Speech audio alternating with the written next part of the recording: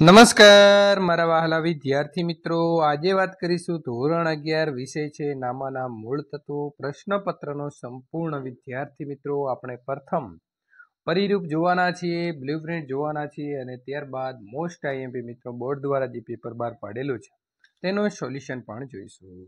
એ પહેલાં ચેનલની અંદર પ્રથમ વખત આવ્યા છો તો મિત્રો સબસ્ક્રાઇબ કરી દેવી.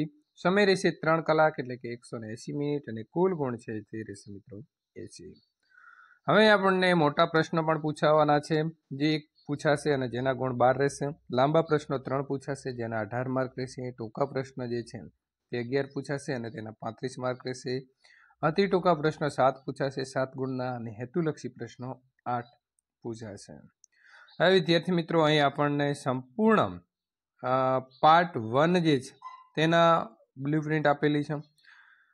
અને અહીં પાર્ટ ટુનું આપેલું છે. તો વિદ્યાર્થી મિત્રો, આનો આપણે સંપૂર્ણ અભ્યાસ કરીએ. તો તમારે એક નોટ અને બોલપેન લઈને બેસી જવાનું છે. હવે તમારો સેક્શન એ જે છે તેમાં કયા ચેપ્ટર પૂછાશે તો પાર્ટ વનમાંથી મિત્રો એક, બે, પાંચ અને છ અને પાર્ટ ટુમાંથી સાત, દસ અને અગિયાર. આટલું તૈયાર તમે કરશો એટલે તમારો સેક્શન એ ઓકે થઈ જશે. સેક્શન બીની વાત કરીએ તો પાર્ટ વનમાંથી એક, બે અને પાંચ, એમાં બીજામાંથી એક ઓપ્શનમાં હશે અને પાર્ટ ટુની અંદર છ, સાત અને દસ. સેક્શન સીની વાત કરીએ તો મિત્રો ચાર, છ, આઠ, નવ અને દસ અને પાર્ટ ટુમાંથી ત્રણ, ચાર અને આઠ. સેક્શન ડી સાત અને પાર્ટ ટુમાં પાઠ નંબર એકમાંથી પૂછાશે. સેક્શન ઈ જે છે તે તમારે મિત્રો પાર્ટ વનમાંથી અગિયાર અને પાર્ટ ટુમાંથી બે અને નવ જે તમારા ચેપ્ટર છે તે તૈયાર કરવાના રહેશે. સેક્શન એફ જે છે તે ચેપ્ટર નંબર પાંચમાંથી પૂછાશે અને આમ આપણું એસી ગુણનું પેપર જે છે તે મિત્રો તૈયાર થશે. તો જે આપણે ઉપર જોયું, એ પ્રકારે ગુણભાર જોઈએ તો ગુણભાર વિદ્યાર્થી મિત્રો આ પ્રકારે છે.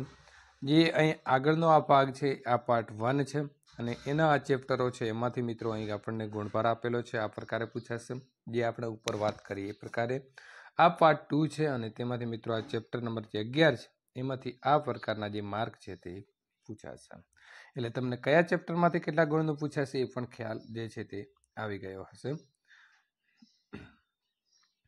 હવે આપણે વાત કરવાના છીએ જે મિત્રો બોર્ડ દ્વારા નમૂનાનું પ્રશ્નપત્ર બહાર પાડવામાં આવેલું છે. તેમાં વિભાગ સાચો વિકલ્પ પસંદ કરી અને લખવાનો છે. પ્રશ્ન નંબર એક, જ્યારે નાણાંનું માધ્યમ અસ્તિત્વમાં નહોતો, ત્યારે વિનિમયના માધ્યમ તરીકે કઈ પદ્ધતિ અસ્તિત્વ ધરાવતી હતી? તો મિત્રો તમને ખબર છે, શાટા પદ્ધતિ એટલે કે વિનિમય પદ્ધતિ. તમે તેમને ચોખા આપો, તમને એ ઘઉં આપે. એવી રીતે પદ્ધતિ ચાલતી હતી. પે ઇન સ્લીપ એ શાનું સૂચન કરે છે. તો વિદ્યાર્થી મિત્રો, બેંકની અંદર આપણે જે નાણાં ભર્યા છે, એનું સૂચન પે ઇન સ્લીપ કરે છે. પ્રશ્ન નંબર ત્રણ, મહેસૂલી ખર્ચ રોકડમાં ચૂકવવામાં આવે. ત્યારે શું થાય છે, તો મિલકત જે છે તે મિત્રો મિલકત ઘટે છે. એની સાથે મૂડી જે છે એ પણ ઘટે છે. બરાબર છે. એટલે સાચો જવાબ આવે છે આપણે બી ત્યારબાદ આગળ વાત કરીશું ચેપ્ટર પ્રશ્ન નંબર ચાર. ખાલી જગ્યાના ખ્યાલ મુજબ દર વર્ષે સ્ટોક મૂલ્યાંકનની જે પદ્ધતિ છે, તે બદલવી ન જોઈએ. તો કેમ ન બદલવી જોઈએ? તો એક સૂત્રતા જે છે, તે જળવાય તેના માટે. આઈસીએઆઈ દ્વારા એએસબીની સ્થાપના જે છે, તે કયા વર્ષની અંદર કરવામાં આવી હતી? તો ઈસવીસન ઓગણીસો ને સિત્તોતેરમાં. એક નોંધી હિસાબી પદ્ધતિનો કોણ ઉપયોગ કરે છે? તો કોણ ઉપયોગ કરે છે? પરચુરણ ધંધા જે કરતા હોય તે. પ્રશ્ન નંબર સાત, બજારમાં મળતા તૈયાર હિસાબી સોફ્ટવેરમાં કયું સોફ્ટવેર સૌથી વધુ પ્રચલિત છે? તો મિત્રો ટેલી પ્રશ્ન નંબર આઠ, ખાલી જગ્યાને કોમ્પ્યુટરનો મગજ જે છે તે કહેવામાં આવે છે? તો આવશે સીપીયુ ત્યારબાદ આગળ વાત કરીશું વિભાગ બી. પ્રશ્ન ક્રમાંક નવથી મિત્રો પંદરના અતિ ટૂંકી જવાબી પ્રશ્નો જે છે તેના જવાબ તમારે લખવાના રહેશે. દરેક પ્રશ્નોનો એક ગુણ રહેશે. પહેલો પ્રશ્ન છે દ્વિનોધી નામા પદ્ધતિ એટલે શું? રોકડ વ્યવહાર એટલે શું? ઉધાર શાક પરના વ્યવહાર એટલે શું? મિત્રો, પ્રશ્ન નંબર બાર છે એમાં આપણને જે જે પ્રશ્નો આપ્યા છે, બરાબર છે? તેના જવાબ આપણે હવે સંપૂર્ણ જે છે તે મેળવી લઈએ. તો જો, પેલો પ્રશ્ન નંબર નવ હતો કે જે પદ્ધતિની અંદર ધંધાના બધા જ વ્યવહારોને બેવડી અસર આપવામાં આવતી હોય તો તેને દ્વિનોધી નામા પદ્ધતિ કહે છે. રોકડ વ્યવહાર એટલે શું? તો પ્રશ્ન દસનો જવાબ છે કે જે આર્થિક વ્યવહાર દ્વારા ધંધાની રોકડ વધે કે ઘટે? અથવા તો બેંક શિલક વધે કે ઘટે? તેવા વ્યવહારોને રોકડ વ્યવહાર કહે છે. ઉધાર વ્યવહારની વાત કરીએ, તો વર્તમાનમાં માલ મિલકત કે સેવાનો ખરીદી વેચાણ થાય. અને ભવિષ્યમાં નાણાં ચૂકવવાના કે લેવાના થાય, તેવો જે વ્યવહાર છે તેને ઉધાર વ્યવહાર કહે છે. પ્રશ્ન નંબર બારનો જવાબ જોઈએ.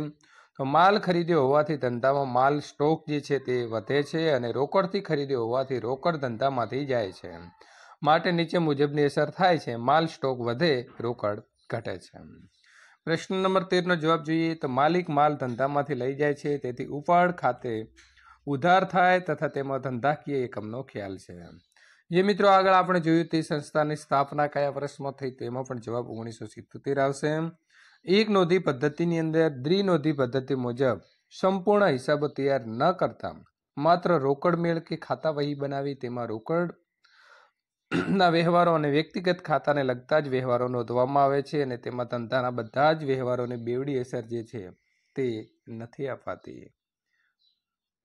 હવે આપણે વિદ્યાર્થી મિત્રો વિભાગ સીની અંદર કેવા પ્રશ્નો પૂછાશે તેની વાત કરીએ. ત્રણ ગુણના પ્રશ્નો પૂછાશે. તમારા માગ્યા પ્રમાણે જવાબ આપવાના છે. વિદ્યાર્થી મિત્રો, પ્રશ્ન નંબર સોળ તમારે જે આ નોંધો છે એ નોંધો લખવાની છે. ત્યાર પછી પ્રશ્ન નંબર સત્તરની અંદર પણ તમારે વિદ્યાર્થી મિત્રો અહીં નોંધો લખવાની છે, એટલે કે આમ નોંધ લખવાની છે. અને પ્રશ્ન નંબર અઢારની અંદર તમારે ખરીદ નોંધ જે છે તે તૈયાર કરવાની છે.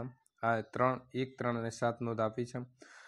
ત્યાર પછી આમ નોંધ લખવાની છે એક, બે અને ત્રણ. આમ નોંધની ખતવણી જે છે ખતવણી કરવાની છે. કાચું સરવૈયું તૈયાર કરવાનો છે. મૂડી અનામતના પ્રાપ્તિ સ્થાનો ત્યાર પછી મિત્રો જે ચોપડે લખવાના છે એ વ્યવહારો તમને અહીં આપ્યા છે. આ પ્રકારે તમે પ્રશ્ન નંબર ત્રેવીસ લખી શકો છો. પ્રશ્ન નંબર ચોવીસની અંદર આવરો, તસલમાત ખાતું અને દિશાવર ખાતું આપ્યું છે. વિદ્યાર્થી મિત્રો વિભાગ ડીની અંદર ચાર ગુણના પ્રશ્નો રહેશે અને આ પ્રકારે પ્રશ્નોના જવાબ જે છે, તે તમારે રોકડ મેળ તૈયાર કરવાનો છે. ત્યાર પછી અહીં સંપૂર્ણ હિસાબો જે છે તે ભૂલ સુધારણાની નોંધ તૈયાર કરવાની છે. વિભાગ ઈની અંદર છ ગુણના પ્રશ્નો પૂછાશે અને આ પ્રકારે તમારે સિલક મેળ જે છે તે તૈયાર કરવાનો છે. બરાબર છે? અહીં નફો જે છે તેનું ત્રણ વર્ષનું મિત્રો યંત્ર ખાતું તૈયાર કરવાનું છે. ત્યાર પછી અહીં સંપૂર્ણ મિત્રો આવક જાવક આપી છે અને એના આધારે તમારે હિસાબ જે છે તે હિસાબ મેળવવાનો રહેશે. તો આ પ્રકારના દાખલા પૂછાશે. એફની વાત કરીએ તો બાર ગુણનો પ્રશ્ન છે. મિત્રો, કાચો સરવાયા ઉપરથી વાર્ષિક હિસાબો જે છે તે તમારે તૈયાર કરવાના રહેશે. તો ખાસ અહીં તમે જોઈ લો અને આ પ્રકારના જે છે તે સ્ટોક ઉપરથી તમારા અહીં જે હવાલા પાડ્યા છે તે તમારે ગણવાના રહેશે. તો વિદ્યાર્થી મિત્રો, આ પ્રકારના પેપર મેળવવા માટે ચેનલને ખાસ સબસ્ક્રાઇબ કરી દેવી.